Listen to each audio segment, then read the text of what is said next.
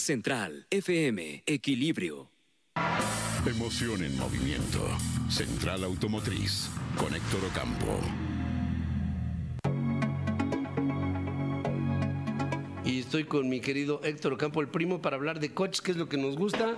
Y mi querido primo, ¿cómo estás? ¿Cómo empiezas la semana? ¿Qué tal, mi querido Pedro? Pues bien, contento con el gusto de siempre saludándonos, con mucha información relativa con el mundo de los autos. Ya sabes que en el mundo suceden muchas cosas y a veces en México no tanto.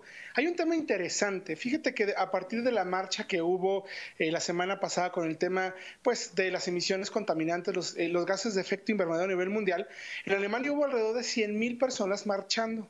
Eso le hizo tomar decisiones al gobierno alemán y hablar de lo que va a suceder en los siguientes años para tratar de mitigar los efectos, eh, el perdón, los gases de efecto invernadero, por lo menos en ese país. Alemania es eh, la economía más importante de Europa, es la sexta en la cantidad de emisiones de efectos de, gases, perdón, de efecto invernadero y está haciendo, colabora más o menos con el 2.1% de las emisiones eh, mundiales van a destinar, checa nomás qué interesante cuando se habla de, trabajar en, en los siguientes años en pro de esto, van a destinar 60 mil millones de dólares para ayudar a incentivar, por un lado, los vehículos eléctricos, que es como de los puntos más importantes.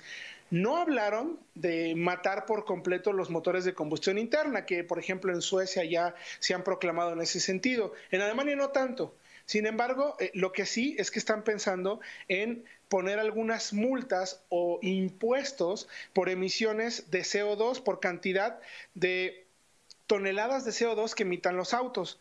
Van a empezar en, el, en el 2021 multando a los vehículos que emitan, eh, me imagino, no hablaron mucho del detalle, pero yo me imagino que dependiendo del consumo de combustible y la cantidad de CO2 que emite el vehículo, en el, al año van a calcular más o menos cuántos son las toneladas de CO2 que emite ese vehículo al año y lo van a ir multando con 10 euros por cada, por cada tonelada, ¿no? Más o menos. Y en el 2025 van a llegar a 35 euros por tonelada, lo cual me parece finalmente una solución que poco a poco va a ir incentivando a que primero los autos, las marcas desarrollen más vehículos eléctricos, que sabemos que están en pro de ello, y también que las personas pues dejen de comprar quizás los motores de combustión al tener un costo adicional por tener un vehículo que contamina o que emite eh, gases tal cual en el momento en el que se está usando. ¿Cómo lo ves, mi querido Pedro? Es que vamos para allá. Fíjate que yo creo que hay países que van a marcar la pauta, sin duda Alemania, que ha marcado pauta en la industria automotriz, ahora va a marcar pauta en la energía para la industria automotriz. Y esto eh, creo que se ve claramente. Eh, ¿Te acuerdas que me decías la semana pasada? que eh, te iban a mandar un, Audi, que ibas a hacer la prueba con el coche.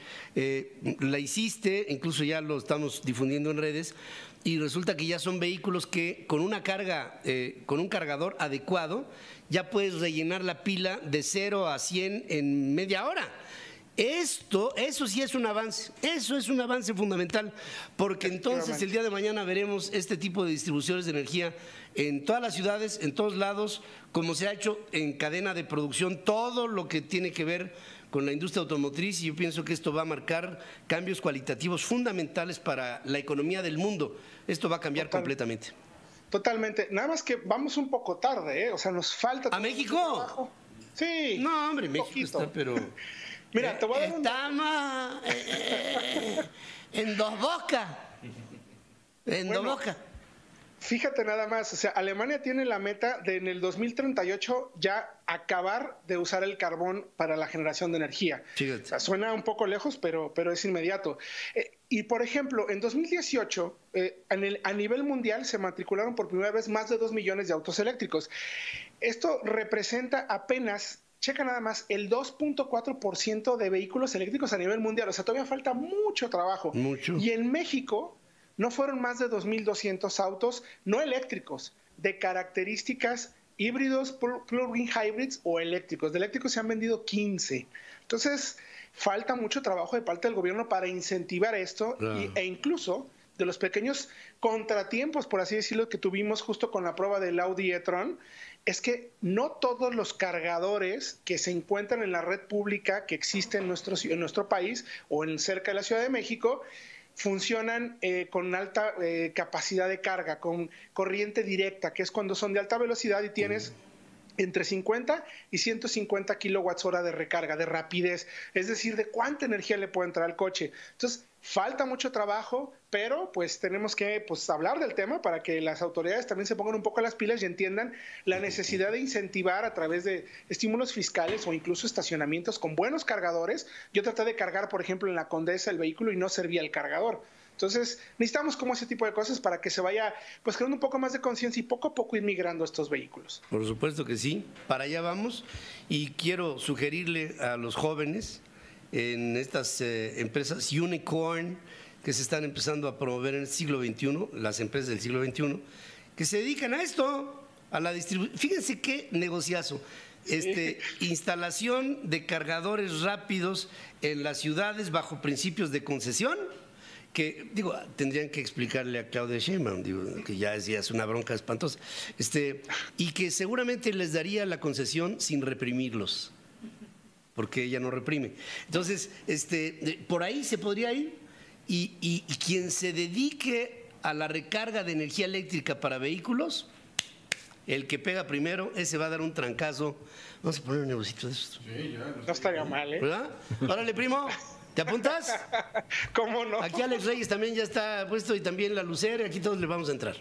Ya se hizo. Ya se hizo la polla. Eléctrica.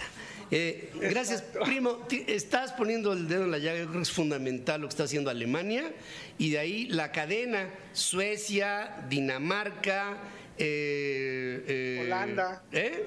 Holanda, por supuesto que sí. Eh, en fin, eh, Islandia, todos los países que, digamos, de la parte de la cuenca del, del, del, del, uh, del Báltico y en Japón, eh, Hong Kong, por ese lado, yo creo que por ahí va a empezar a derivar. Y luego, Estados Unidos, por supuesto, Canadá, etcétera. Y, y, y, pues el caso nuestro, yo creo que tenemos que acelerar el paso desde la óptica del sector privado, nada más con decirle, eh, ir cuchileando al gobierno para que vaya dando los permisos, yo creo que con eso podemos sacar esto adelante. Gracias como siempre, querido primo. Un gusto como siempre, Pedro. Es un negociado. Gracias, muchas gracias. Este, vamos, vamos, es un negociazo. Sí. Es Además, fíjense que todo va a cambiar. Esto es algo que es muy difícil de expresar, pero lo voy a tratar de hacer así.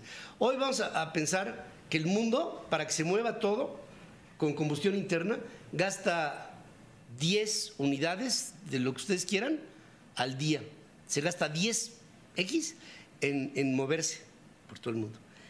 En el momento en que esto cambie de combustión interna, de gasolina, con todo el proceso a electricidad, lo que se gaste 10 para mover el mundo, se va a gastar 1. Entonces, ese diferencial de 9 se va a hacer que se reacomode toda la economía.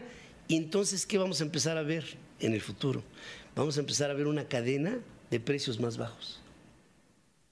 O sea, vamos a ver una deflación. Y para enfrentar un proceso deflacionario, la, todo se va a tener que recomponer. Vienen momentos interesantísimos para la economía que no se habían vivido en términos de número tan dramáticos como los que vamos a ver próximamente. Va a estar interesante. No se vayan, esta película sigue adelante.